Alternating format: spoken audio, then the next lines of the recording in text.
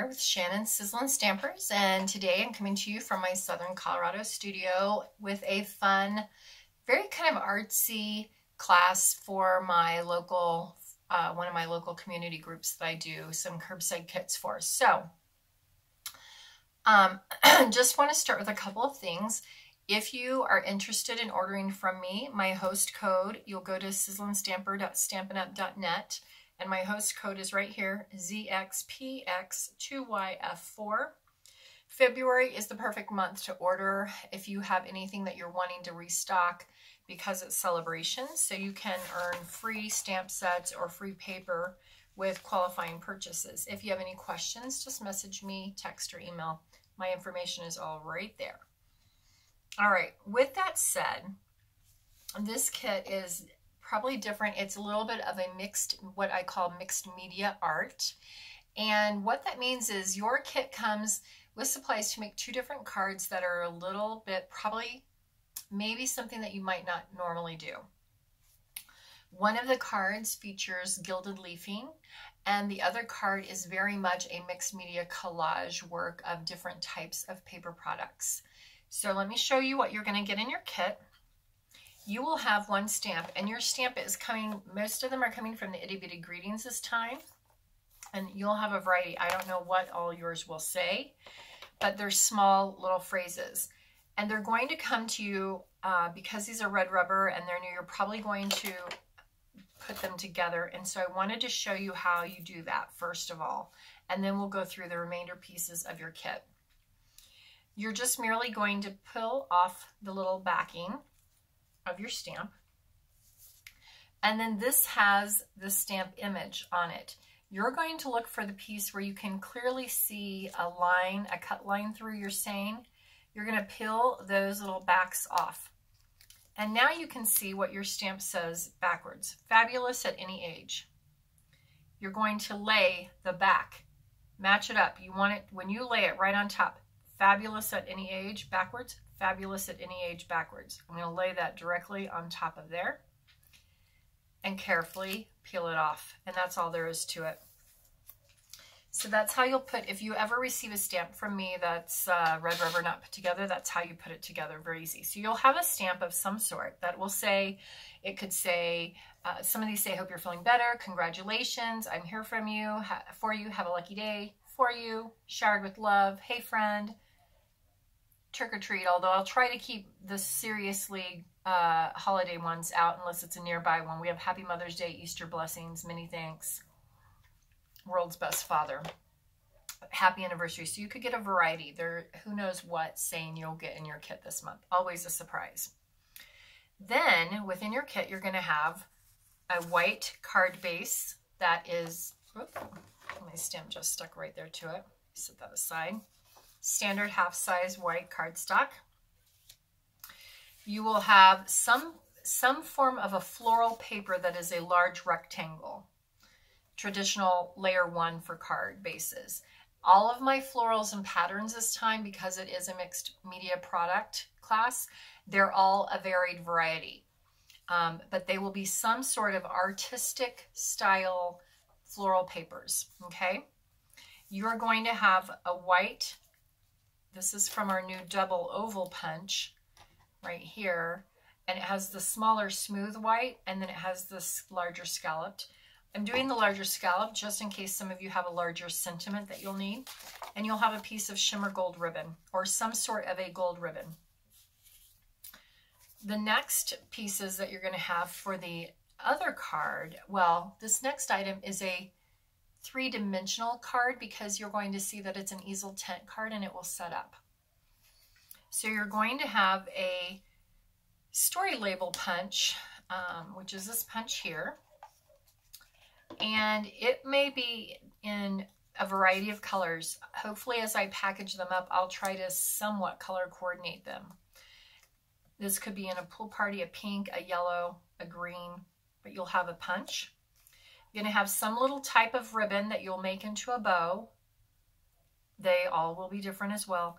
Be very careful in looking because you're going to have a little thing with three or four gold pearls on it. And actually, you may use that on both cards. Oh, and I forgot, with this one, you're going to have a little Ziploc bag. I haven't, I didn't bring it in because it's bagged up and I didn't want to get it out. I'm just using my big container of the gold gilded leafing. Okay, and it is real gold. Um, you will have an acetate circle with a different, they all have different gold metallic prints. You will have some sort of strip of paper, again, a variety. And these are designed to have more of a textile or a texture style, style print to them. You will have something similar, some sort of a background print that is a three and three quarter by three and three quarter square. And then you'll have some little scrap of paper. These are bigger than what you will receive. They're going to be probably half this size or a third of this size. And I have even more varieties in this. I just brought you some to show, to show on the video. A varied varieties. Most of these uh, florals that we're going to be using, these prints and papers, were actually painted on canvas and then photographed and then those photographs were then made into 12 by 12 sheets of designer series paper that we're now going to cut apart and use. And then the last piece that you're going to have will be a 12 inch piece of white paper. And we will begin um, with that one. You're going to do a little bit of scoring. And then you will probably going to see on the back of your storybook label, it's going to come pre, my goal is to have it come pre-dimensional. If not, you're going to get a little pack with a couple of dimensionals in it because you're going to need that for this card. Okay? Or tint, if frame gift. So I'm going to set all these away and we aside, and we're going to start with this card actually, or the tent. So the first thing you're going to do is score your uh, paper. And again, I said this is 12 inches long by 4 inches wide. And we want to end up with three panels that are 4 inches. So you're going to score it at 4 and at 8. And then that will give you a 4 inch, 4 inch, 4 inch panel. If you do not have a scoring tool or a scoring blade, you can merely take a uh, measure out where's and make a little pencil mark at four and eight and then take your ruler and either another ruler and you just go shank. If you happen to have a bone folder, that works. The back of a pair of scissors will work. Worst case scenario, make a mark and fold it by hand as best as you can. All right, so now you have, you folded those scoring up really well. And this is what we're going for. We want it to have this tent-like image. For right now, we're going to start by decorating panel one. That's going to face the front and it's on the end. So to do this, get all your little goodies that you need for this card. And we are going to merely glue some of these are may require uh, you holding time to hold your glue on a little bit longer, or if you have a specialty adhesive like glue dots, tear tape, um, etc., double-sided tape, you may want to get that out for this project. But for step one, we're merely gluing this texturized square of paper into the center of that first panel. Okay. The next step is your little strip of paper. You're going to want, or I do, you can either do a pennant end, you can just do a slash cut on one end or both ends, uh, whatever you want. If you want a pennant, whatever. And you're going to glue that down in about mm, a little bit lower than the center of your card. A little bit lower than the center of that panel. So we've just glued that on, right, like so. The next step is to adhese the acetate circle. And for that, I'm going to use my glue dots. You could use double-sided tape. You can use the white glue. It will take it a little bit of, a little bit of time to actually adhere and glue. The trick for this is to put all your adhesive onto one to one side because we're going to be covering up one side. And because it is so see-through, you don't want to see your adhesive through there. And you want to make sure to put plenty of adhesive on this because it is a uh, good sized circle. And then you're going to just plunk that right down centered high on the strip. Okay, so centered high. All right. The next step is whatever your flower piece of, of paper looks like, you're going to hand cut some flowers out. And this is where you're going to have to use your creativity and create that however you want. If you happen to have dimensionals on your own, you can use them at this point. Otherwise, your white glue or glue dots work really well because you're going to be gluing a lot of it onto this, um, or a little bit at least, onto that adhesive. So let me just show you. For mine, I'm to I'm to do my long stem. I just previously cut it just to save a little bit of time on the video. And I'm just sliding it slightly under the edge of that circle. And then this one, uh, I happen to have the dimensionals, so I'm going to just use a little dimensional to give it a little bit of lift. So it'll kind of be popped up and have some dimension on the card.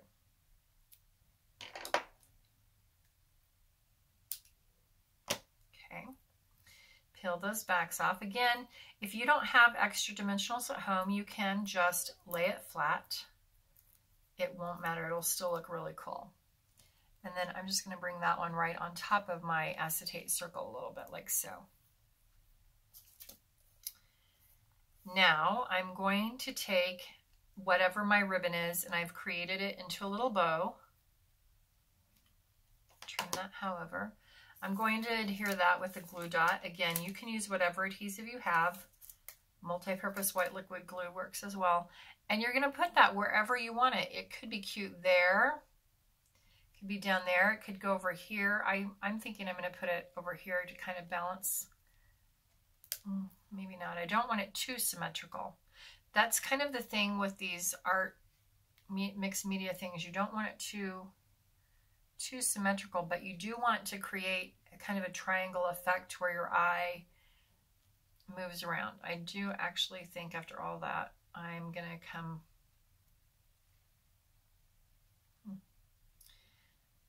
and each every time I create a type of project like this each one ends up being different so even if I videoed this again and did it again it would probably come out slightly different I'm just going to go ahead and do mine there okay so that's the first part now you're going to fold that up.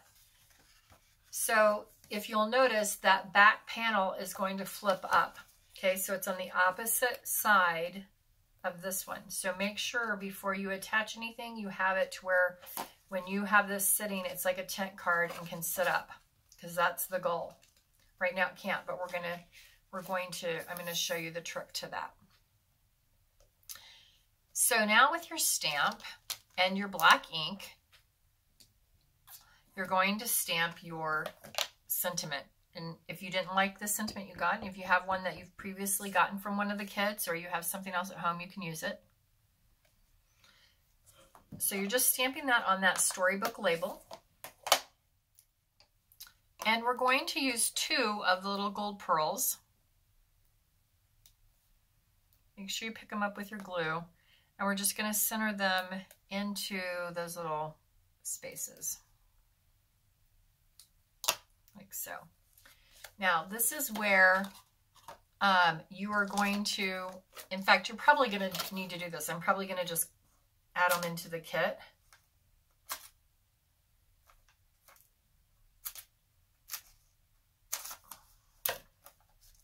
And then you'll put on these dimensionals like so. And you're going to have probably four. And the thing is, at the top, I want there to be two of these dimensionals and then one on either side. Don't really care about the bottom at the at right now. So then you'll peel off those adhesive backs. And you're going to put your fold up here and see my card is about halfway wherever I want it. I'm going to center that on to that card and stick it down. The reason you need those dimensionals is now your card will stand as an easel right there. Super cute, huh? And it's very different and beautiful. So it's like a piece of artwork that you can give. Now, if you want, you can fold that in and fold this in and you can stick it into an envelope. I um, and send it to someone. I did not include an envelope because this is more of a, of a decor piece for this project, but you can stick it into an envelope that you have. So that is project one. All right, we're going to set that one aside. Now, for the next one, we have these pieces out. And I will warn you ahead of time when you get ready to do your gilded leafing, make sure that you have something on your uh, table and that you've tried to get rid of any static. So let's start with step one as stamping, first of all. We're going to do a little different uh, step order because you want to do the gilded leafing almost, almost to be your last step. So I'm going to stick that on there.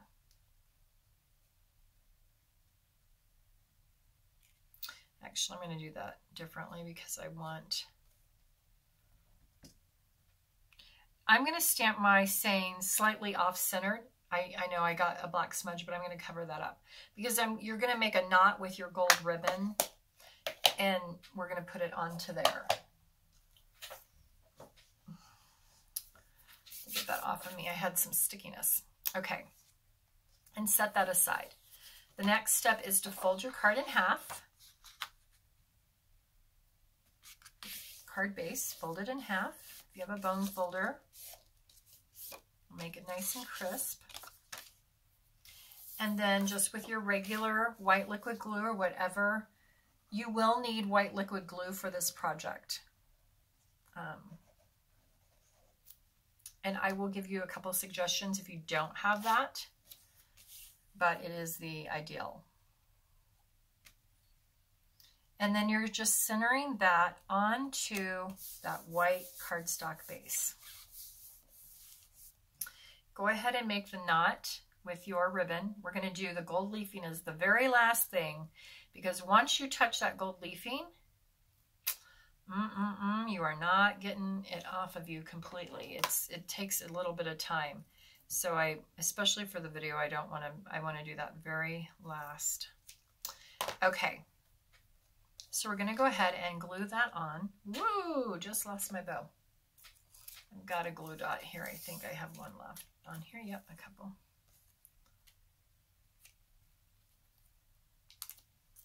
I'm to put that right there, like so. Again, if you had um, dimensionals, you could pop this up. I'll go ahead and show you just so you can kind of see what it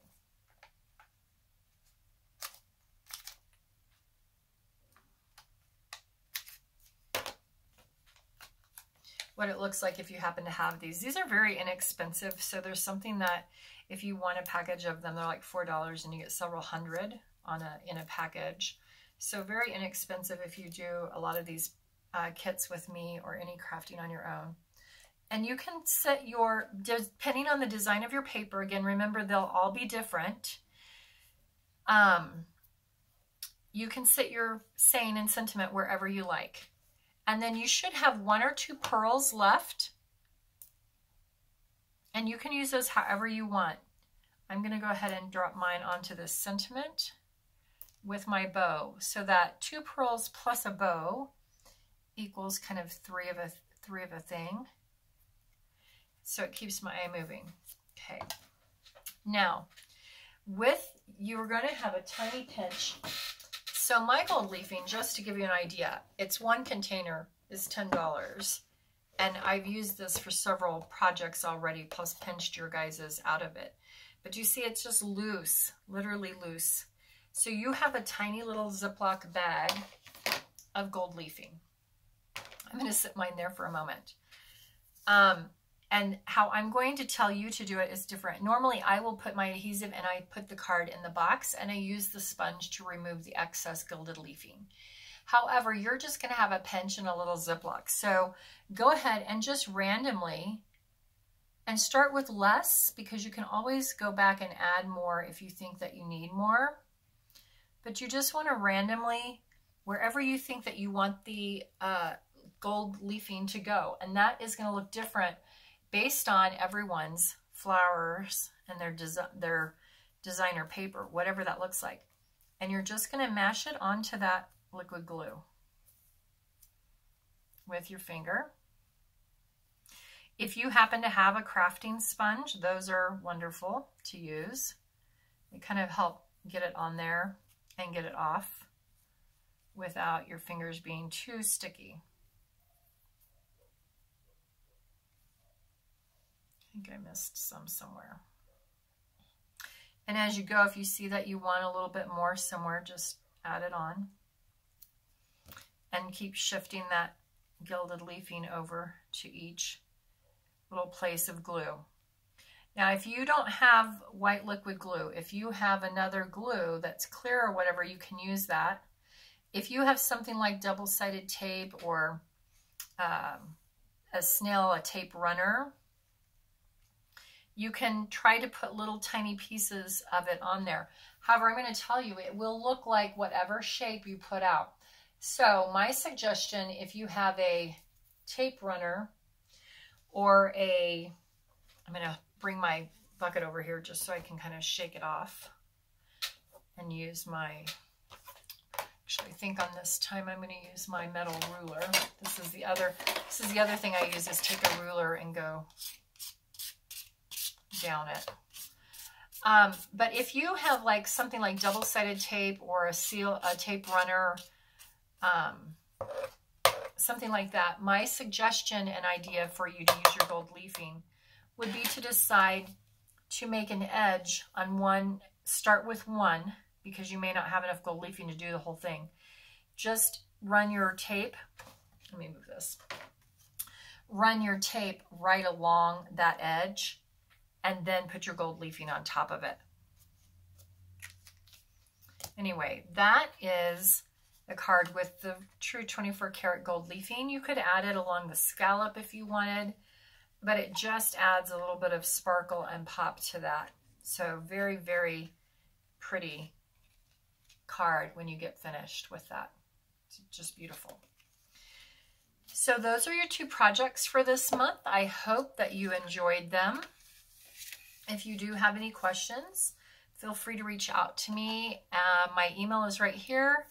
My phone is there texting. You can always find me on Facebook at Sizzlen Stamper, Shannon Miller.